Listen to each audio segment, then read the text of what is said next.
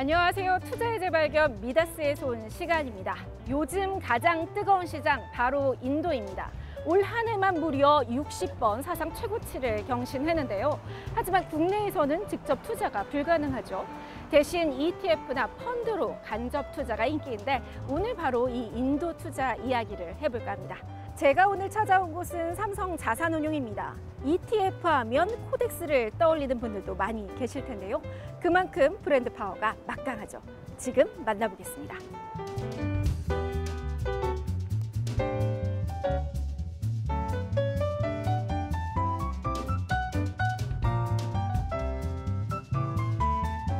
안녕하세요,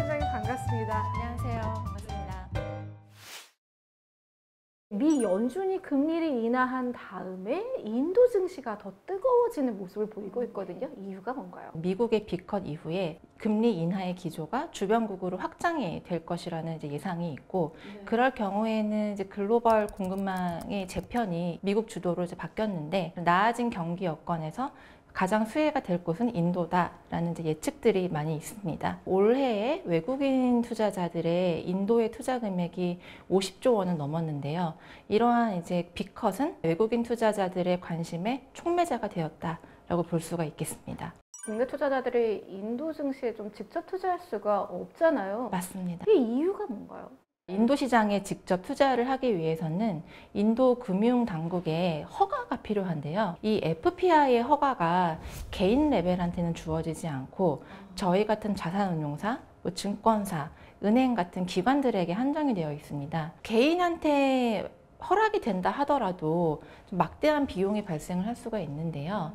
인도에서는 계좌별로 세금 계산 대리인을 지정을 하게 되어 있는데 사실 이런 세금 계산 대리인을 지정을 하는 것에는 개인한테는 좀 한계가 있을 수가 있습니다. 저희가 이 KODEX 인도 Nifty 50 ETF를 구상을 하던 작년 초 같은 경우에 선진국은 좀 미국 쪽으로 많이 편중이 되어 있었고 신흥국 투자는 이제 중국 상품 라인업이 대부분이었습니다. 저희 같은 경우에는 인도 주식에 직접 투자하는 실물형 ETF로 상장을 하면서 투자자분들의 좀더 폭넓은 선택지를 제공을 하고자 하였습니다. 코덱스만의 좀 차별화되는 부분이 있다면 어떤 걸까요? 사실 이게 이제 루피화로 거래가 되기 때문에 이런 이제 이중 통화를 관리하는 것도 사실 포트폴리오 관리 차원에서 굉장히 까다롭기는 합니다. 그렇지만 어떤 비용 절감 측면에서 실물 투자하는 ETF를 구상을 하게 되었고, 그래서 뭐 1년 후로 보던, 그다음에 YTD로 보던 그 동일 지수를 추종을 하는 국내 ETF 중에서는 저희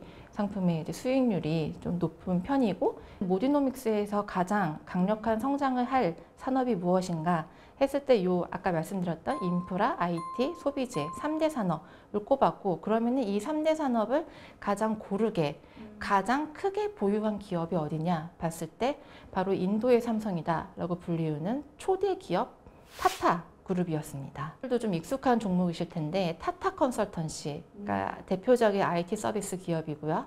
그 다음에 타타 모터스, 그 다음에 타이탄 등의 이제 소비재 기업들이 있습니다. 가장 중요한 인프라 같은 경우에는 세계 10대 철강 기업인 타타 스틸, 그 다음에 종합 에너지 기업인 타타 파워 등 10개 종목이 포진되어 있습니다.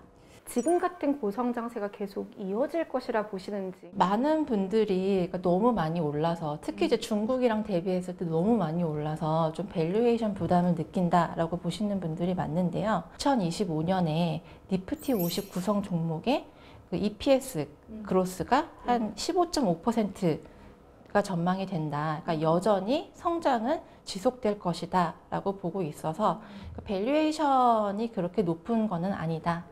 최근에 이제 S&P가 예측을 하기로는 현재의 GDP 규모의 두 배인 7조 달러가 2031년 정도면은 달성이 가능할 것으로 보이는데요. 글로벌리 3대 경제 대국으로 올라서게 되는 겁니다. 네. 중장기로 바라봤을 때 굉장히 유망한 투자이기 때문에 연금 계좌에서 좀 은퇴 자금의 증식 노리셨으면 좋겠고 아무래도 이제 보유기간 과세 상품이다 보니 또 세제 혜택도 함께 누리시면 좋겠습니다.